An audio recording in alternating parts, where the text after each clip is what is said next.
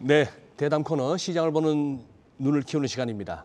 자, 중국 한번 살펴봐야 될 것 같습니다. 계속해서 상하이에 이어서 베이징까지 어, 봉쇄 가능성이 커지고 있습니다. 거기다가 항저우 아시안 게임 얼마 남지 않았는데 뭐 또 잠정 연기 아마 올해는 힘들어 보이는데요. 어제는 그래도 그 와중에 에, 상당히 또 개장 초부터 급락 출발 후에 탄력을 보였습니다만 중국 관련해서 또 이머징 쪽 전반적으로 한번 짚어보겠습니다. 하나금융투자 신흥국 주식 파트장이시죠? 김경환 파트장님 나와 계십니다. 안녕하세요, 파트장님. 안녕하십니까? 예, 오후 바쁜 시간에 또 시간 내주셔서 고맙습니다. 아닙니다. 불러주셔서 예. 감사합니다. 지금 이렇게 보니까 뭐 딱히 금년 들어서 중국 증시가 유난히 나쁘다 말다 뭐할 거는 없는 것 같아요. 제가 이렇게 전반적인 사- 하락폭이나 등락률을 살펴보면 네. 비슷하게 가는데 네. 문제는 홍콩 같아요. 네. 홍콩은 영 아닌데. 네네. 자 일반적으로 어쨌거나 뭐 중국 증시 이 네. 본토와 홍콩을 아우라서 한번 평가해 주신다면요. 뭐 일단은 뭐 가격의 상당 부분 다 반영이 된 측면은 있어서 음. 어, 뭐 지나간 얘기입니다만 1, 2월 달에 미국 긴축 속도가 워낙 빠르다 보니까 그런 부분이 이제 중국의 성장주나 기술주 중심으로 음, 본토 같은 네. 경우는 뭐 차스닥으로 알려진 창업판이라든지 중국의 전기차, 반도체, 시야로 이런 어떤 성장주들이 많이 빠졌고요. 전체적으로 이제 홍콩의 경우도 작년에 이미 마이너스 한 20% 정도 기록을 한 다음에 기대를 했습니다만 2월 이후에 어, 러시아 침공 이후로 유럽 계 자금의 이탈로 인한 어떤 수급적으로 더 취약했던 측면 또 아시는 대로 2, 3월 달에 대한민국과 다르게 홍콩의 방역이 실패하면서 홍콩 음. 자체적인 또 락다운 공포도 네. 있었다고 저는 보고 있고요. 그래서 3월까지 그런 이슈가 겹쳤고 결국에는 4월 달에 어, 지난 12월부터 중국의 선행 지표들 뭐 부양은 한다고 얘기를 했었기 때문에 12월 경제공작 이후에 선행 지표나 통화 정책 이런 것들은 돌았지만 결국에 락다운과 부동산 경기 충격을 충분히 완충할 만큼의 강도가 안 되다 보니까 그런 실망감들이 겹쳐지면서 본토와 홍콩이 동반해서 또 무너지는 그런 요인을 보였고 홍콩은 저희가 뭐 전반적으로 저점이 왔다고 생각을 했습니다만 본토의 경우도 보면은 주식 채권 쪽에서 자금이 이제 외국인들이 많이 이탈은 했지만 제일 큰 문제는 본토 그러니까 상해 심천 시장은 local 투자자들 그 음, 현지 네. 투자자들이 굉장히 지금 신뢰를 좀 많이 잃고 있는 부분들 아하. 실제로 거래 대금이 한 60% 정도 급감했고 예. 신용 잔고라든지 저희가 이제 뭐 전체적으로 좀 측정할 수 있는 수급 지표들이 local 투자자들이 더 극심한 투자 심리 위축을 보여서 지금 그쪽에서 보는 현실적인 lockdown에 대한 충격이나 음. 부양책에 대한 실망이나 혹은 민간 기업 들의 어떤 에너지라든지 뭐 이런 것들이 종합적으로 좀 본토 증시까지도 반영이 되면서 어, 홍콩과 본토 종합적으로 최근 한 6개월의 흐름은 상당히 부진했다 이렇게 평가할 수 있을 것 같습니다. 음. 네, 그래도 최근 들어서는 어느 정도 하방을 좀 지지하려는 노력을 보여주고는 있습니다만 음. 말씀해 주셨다시피 자금 이탈을 비롯해서 수급적으로 굉장히 취약했잖아요. 여기에 네. 이제 더 기름을 부은 것이 사실 위안화 네. 부분인데 네. 위안화 약세가 좀처럼 꺾이지 않고 계속해서 진행이 되고 있어요. 사실 네. 우리의 원화도 같이 연동되는 부분도 있기 때문에 네. 과연 위안화 약세를 언제까지 용인을 할 것인지 과연 음. 좀 언제쯤 반등의 기미를 볼 수 있을까요?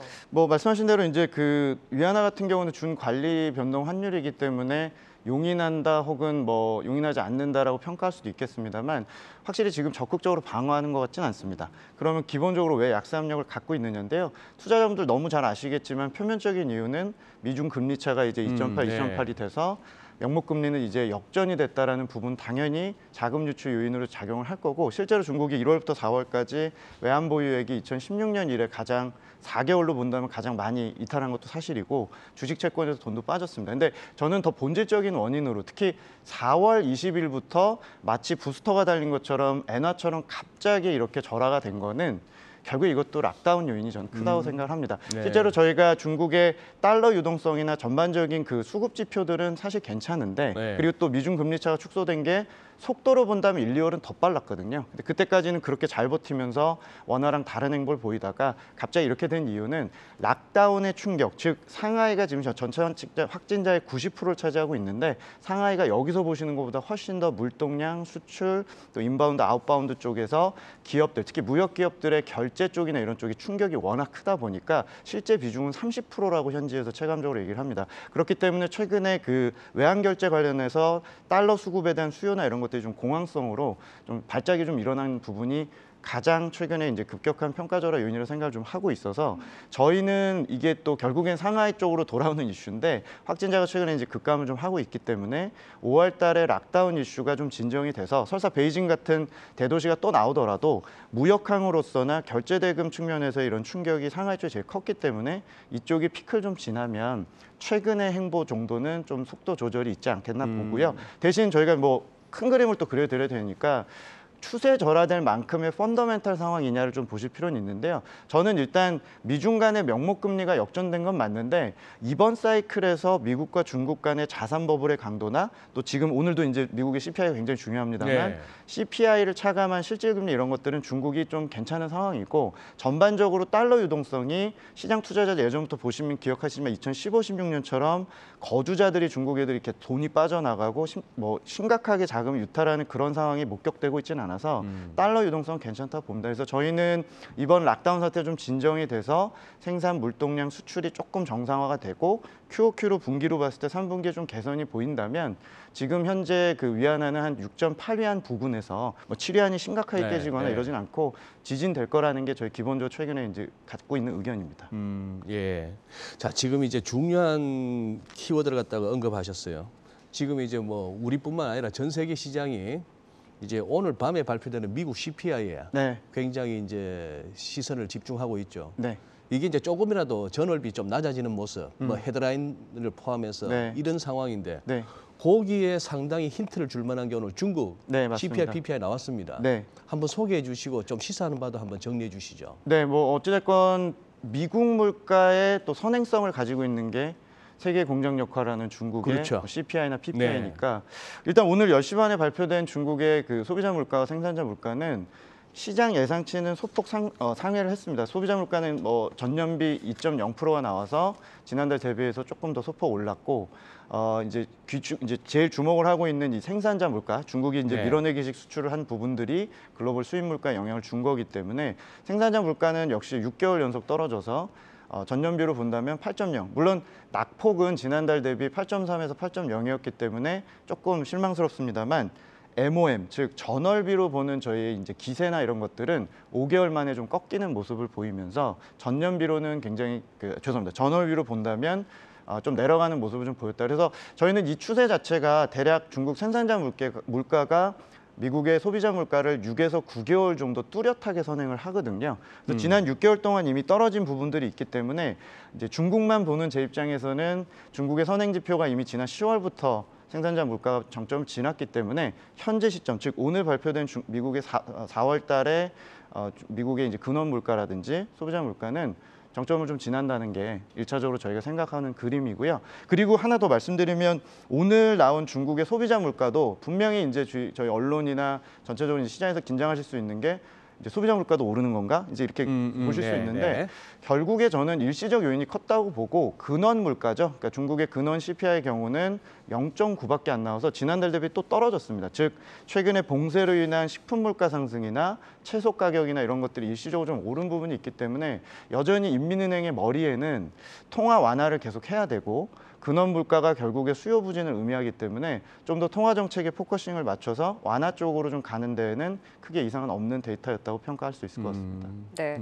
그 앞서서도 주요 포인트 제로 코로나 정책을 짚어 주셨잖아요. 아무래도 네. 이 부분이 풀려야지 뭔가가 그래도 원활하게 풀리게 될 텐데 지금 상하이 공장 뭐 일부 뭐 재개 소식이 있긴 합니다만 여전히 이제 봉쇄 정책을 고수를 하고 있어서 과연 지금 지표로도 사실 수출입 지표가 급감하면서 확인이 네. 되고 있잖아요. 네, 맞습니다. 이렇게 계속 놔둘 수는 없을 것 같은데 어떤 네. 좀 조치가 나오게 될까요? 네, 일단은 제로 코로나의 충격이 어느 정도냐를 보려면 좀뭐 민간 지표나 이런 걸 보기에는 또 너무 데이터가 크게 나오기 때문에 저희가 이제 최근에 화물차 운- 운송량 지수, 그러니까 물동량 지수를 전국 단위로 좀 보면은 상해가 문제가 생겼음에도 불구하고 전국적으로 물동량이 작년 대비 25%에서 한 20% 정도 급감한 걸로 나오니까 방금 말씀하신 수출에도 물동에 영향을 줬던 걸로 추정을 하고 있어서 사실 이렇게 계속 갈 수는 없고 그렇다고 해서 제가 나와서 11월 달에 그분의 3년임 전까지는 쉽지 않다라고 말씀드리기에도 또 굉장히 좀 너무 큰 부분이라서 예. 조금 좁혀서 말씀을 좀 드려보겠습니다. 그래도 데이터가 있기 때문에 데이터로 해서 이제 제로 코로나 얘기를 좀 드려보면 사실 어 그 with 코로나를 못하냐 안 하냐의 문제에서 저는 못한다고 주장을 드리고 있고 이제 못한다고 보는 이유는 2, 3월에 홍콩이 보여줬다. 즉 대한민국과 홍콩의 차이가 보여줬다고 보는데요. 홍콩의 경우는 2, 3월 달에 한참 심할 때 워낙 그 booster shot 접종률이 낮았고 고령층이 그 대비를 못했다 보니까 100만 명당 사망자가 260명. 그러니까 치사율로 환산하면 치명률이 3%까지 갔거든요. 우리 대한민국이 0.14%로 굉장히 성공적으로 한 거에 비해서 홍콩은 굉장히 좀 턱없이 굉장히 희생을 좀 많이 치른 편입니다. 홍콩의 상황을 보면서 중국 입장에서 3차 접종률은 홍콩보다 조금 높지만 여, 여전히 그 3차 접종률이 그 60세 이상은 굉장히 턱없이 부족한 상황이고 무엇보다 그 불활성화 백신으로 알려진 시노백 즉 어, 물 백신 논란이 있는 1, 2차는 다 맞았습니다만 예. 파이자 모더나 대비 즉 mRNA 백신 대비해서 검증된 적도 없고 걸려본 사람이 많지 않다 보니 이게 실제로 유효한지에 대한 검증이 되기 전까지는 자신감이 없다는 게 저희 생각이고 또 소득 만불 국가다 보니까 의료 인프라 부족이 결국에 자신감이 없다는 생각입니다. 그럼 계속 이렇게 갈 수는 없고 저희가 하반기 전망을 준비하면서 좀 찾아본 문서에 따르면 이번에 2, 3월 달에 홍콩이 어, 상당히 많은 분들이 걸리면서 시노백 백신을 맞은 분들이 그쪽 홍콩도 40%였었고 이번 상하이의 경우도 누적으로 65만 명이 걸리면서 사실 우한 사태 이후로 본인들 백신을 이렇게 많은 사람들이 임상 실험처럼 걸려본 적이 없어서 처음으로 데이터가 확보가 돼서 판단할 수 있는 어떤 지표가 좀 생긴 거라는 건 그나마 다행이라고 생각을 하고요. 실제로 지금 최근 4월 이후에 중국의 접종률을 보면 3차 그 접종률이 계속적으로 40에서 60 이렇게 올라가고 있- 있는 상황입니다. 그래서 저희 생각에 선택의 기로에 놓이는 시점은 7월일 것 같습니다. 7월의 의미는 우리나라도 6, 70%대 3차 접종률이 됐을 때 with 코로나 로드맵이 나왔듯이 중국의 경우도 우리처럼 급진적으로 빠르긴 못하겠지만 판단해 볼 수 있는 근거는 본인들의 시노백이 3차 접종 률이 일단 70% 됐을 때 정도일 것 같고요. 이 시노백의 실효성에 대한 부분은 이번 홍콩 쪽의 연구 결과, 그러니까 이번에 걸린 분들을 통해서 시노백의 경우 3차를 맞을 경우에는 실효성이 있다는 조금 결과가 나왔기 때문에 이거를 중국 정부 얼마나 바행할지 모르겠습니다만 이런 데이터를 바탕으로 7, 8월에 어, 접종률이 올라왔는데도 하는지 안 하는지를 좀 더 검증해 보자라는 게 저희 생각이고 예. 대략 저희 예상은 9월 정도에 어느 정도 이 with 코로나 지역별로 부분적으로 방역을 완화하는 로드맵은 나올 걸로 예측을 좀 드리고 있습니다. 자, 어쨌건 중국 특색 사회주의라고 했습니다만 아, 참 네. 우리 일반 상식으로는 잘 납득이 안 되는 중국 상황입니다. 그 그 큰 나라의 그 큰 도시를 그냥 확진자 한 명 나왔다고 그거 한다는 것도 그렇고 일단 기본적으로 저는 숫자 자체가 별로 음, 네. 뭐 납득이 안 되고요. 음, 혹시 또 시간이 모자라서 못 들을까 싶어서 이거부터 여쭤보겠습니다. 네. 자 이제 시진핑 주석이 이제 우리 윤석열 대통령 방중 초청을 하셨고 했고 음. 우리 또 윤 대통령께서도 시 주석의 방안을 갖다가 기대한다 음. 원한다 이런 네. 식으로 됐습니다. 네. 자 지금 뭔가 이 한중 관계 새 정부 출범과 더불어서 뭔가 좀 달라진다고 보세요.